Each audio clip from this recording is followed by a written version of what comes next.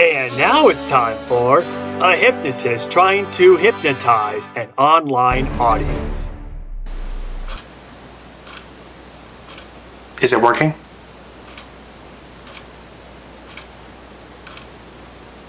Is it working?